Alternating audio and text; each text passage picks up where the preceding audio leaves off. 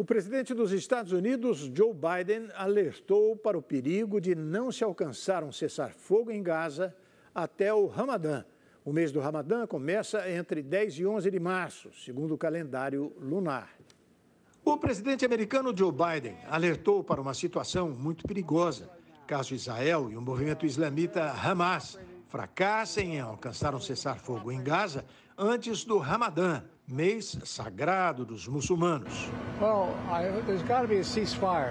tem que haver um cessar-fogo porque o Ramadã, se chegarmos a uma circunstância em que isso continue até o Ramadã, então poderá ser muito, muito perigoso. Estamos nos esforçando para conseguir esse cessar-fogo.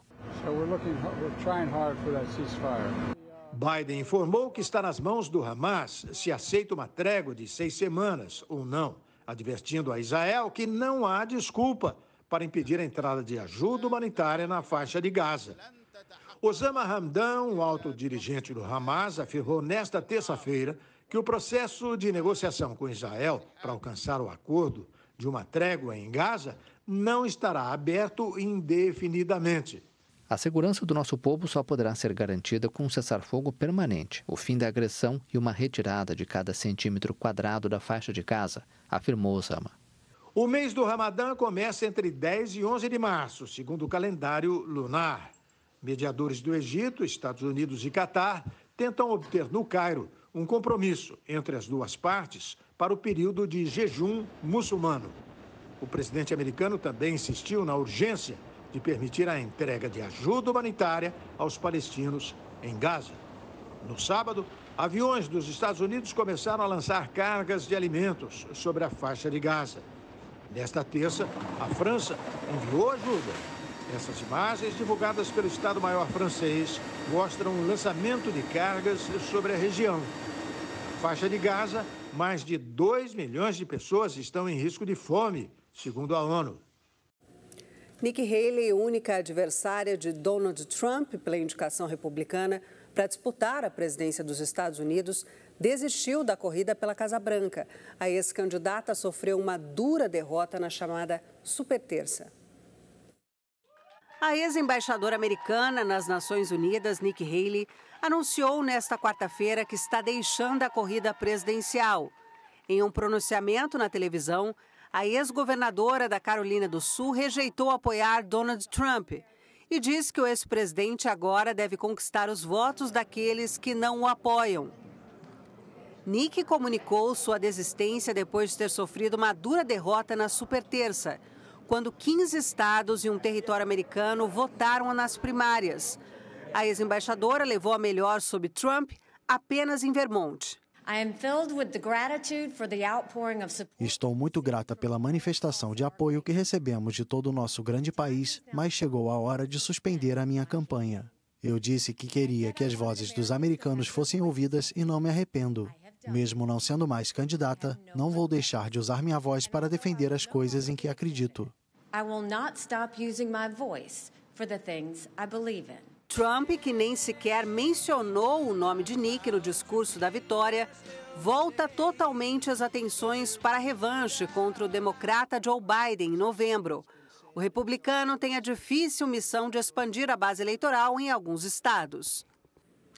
As eleições presidenciais na Venezuela serão realizadas no dia 28 de julho. A data foi acordada entre governo e oposição numa mesa de negociação. Data marcada. A autoridade eleitoral venezuelana anunciou nesta terça-feira que as eleições presidenciais acontecerão em 28 de julho. Primeiro, a eleição presidencial de 2024, em 28 de julho deste ano. Em segundo lugar, convocar o processo eleitoral hoje, 5 de março. Terceiro, dia especial do recenseamento eleitoral nacional e internacional, de 18 de março a 16 de abril. O período para inscrever os candidatos será de 21 a 25 de março. As datas foram alcançadas dentro do acordo entre o governo e a oposição numa mesa de negociação. Espera-se que o presidente Nicolás Maduro busque a reeleição para o novo mandato de seis anos apesar de o político socialista ainda não ter formalizado sua candidatura. A ex-deputada liberal Maria Corina Machado venceu as primárias da principal coalizão opositora, a Plataforma Unitária. mas o Tribunal Supremo de Justiça ratificou em 26 de janeiro sua inabilitação política. Apesar disso, Maria Corina insiste em suas aspirações de concorrer. Após a confirmação da inabilitação da opositora, os Estados Unidos anunciaram que reativariam suas sanções contra o petróleo, o gás e o ouro da Venezuela, que haviam sido flexibilizadas depois dos acordos para a realização de eleições. E o presidente da Venezuela, Nicolás Maduro, chamou de nazista um canal de notícias após a exibição de uma reportagem sobre a corrupção no país caribenho. O líder chavista afirmou que veículos internacionais realizam uma campanha midiática contra o país. Nicolás Maduro chamou de nazista um canal de notícias alemão. O presidente venezuelano faz a declaração após a exibição de uma reportagem sobre corrupção no país caribenho. Maduro acusou o canal e outros veículos internacionais de participarem de uma campanha midiática contra a Venezuela, uma acusação habitual do presidente contra a imprensa internacional. Entre eles, uma mídia nazista da Alemanha, DW, Deutsche Welle, uma mídia nazista, nazista DW. Ela tem uma campanha dizendo que todos os crimes que são cometidos no mundo hoje são cometidos por venezuelanos. Todos os crimes que se cometem no mundo o Sindicato Nacional dos Trabalhadores da Imprensa denunciou na rede social X, o antigo Twitter, que o sinal do canal alemão saiu do ar em duas das principais operadoras de cabo locais. O diretor da emissora alemã, Peter Limborg, pediu em um comunicado ao governo da Venezuela que restaure a distribuição do canal o mais rápido possível, acrescentando que o cancelamento da distribuição do canal é grave um grave ataque à liberdade das pessoas na Venezuela para se informarem de forma independente. O canal publicou uma reportagem sobre corrupção que acusa políticos de alto escalão na Venezuela de estarem envolvidos com tráfico de drogas, mineração ilegal e extorsão. A Venezuela se aproxima de uma eleição presidencial, na qual Maduro aparece como candidato natural do chavismo à reeleição. O pleito foi marcado para o dia 28 de julho. E aqui entre nós, chamar a Deutsche Welle, emissora estatal da Alemanha de nazista, é estupidez, não é? Prosseguindo, a viúva do opositor Alexei Navalny convocou os russos a protestar contra Vladimir Putin em 17 de março, terceiro e último dia das eleições. O presidente russo não tem adversários fortes e deve conquistar um novo mandato de seis anos. VT Navalny.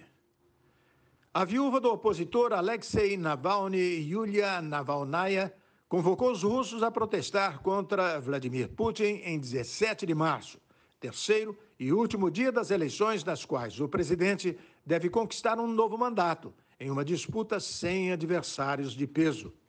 Yulia, os dois filhos e alguns colaboradores de Navalny vivem fora da Rússia para evitar a repressão do Kremlin. Precisamos ir até os locais de votação no mesmo dia e na mesma hora da eleição, 17 de março, ao meio-dia. Depois você pode escolher qualquer candidato que não seja Putin. Pode destruir sua cédula, pode escrever Navalny em letras garrafais. O funeral de Navalny, que estava detido desde 2021 e morreu numa prisão no Ártico em 16 de fevereiro, reuniu milhares de apoiadores em Moscou na última sexta-feira. O porta-voz do Kremlin, Dmitry Peskov, afirmou nesta quarta-feira que as autoridades organizarão o tipo de eleição que o povo deseja e que não vão mais tolerar críticas à democracia russa. Os protestos tradicionais contra o governo são duramente reprimidos na Rússia, onde Putin deverá permanecer no poder pelo menos até 2030. O incidente entre embarcações da China e das Filipinas gerou reações dos dois governos. Tripulantes de uma embarcação filipina ficaram feridos. O governo das Filipinas acusou a China por dois incidentes entre os barcos de dois países no disputado Mar do Sul da China e de usar canhões de águas contra uma embarcação em que quatro tripulantes ficaram feridos. Os incidentes ocorreram perto de Atol Seconde Thomas, nas ilhas Spratly, onde a China e Filipinas mantêm uma disputa territorial. Uma equipe de trabalho das Filipinas afirmou em comunicado que navios chineses executaram manobras perigosas para tentar obstruir ilegalmente uma missão rotineira de reabastecimento. A Guarda Costeira da China afirmou que tomou medidas de controle contra o que foi chamado de incursão ilegal de barcos filipinos nas águas ao redor de Atol. Os incidentes aconteceram durante uma missão de abastecimento e substituição de tropas filipinas estacionadas no navio PRP Sierra Madre, encalhado no local para reivindicar soberania de Manila sobre as ilhas. A China reivindica quase todo o mar do sul da China, apesar de reivindicações de vários países do Sudeste Asiático. A seguir, depois de problemas de saúde, princesa Kate Middleton aparece em evento realizado pelo Ministério da Defesa do Reino Unido. E ainda, técnico do Real Madrid, Carlo Ancelotti, está na mira da Justiça da Espanha. O Brasil News vai para um rápido intervalo. Fique com a gente.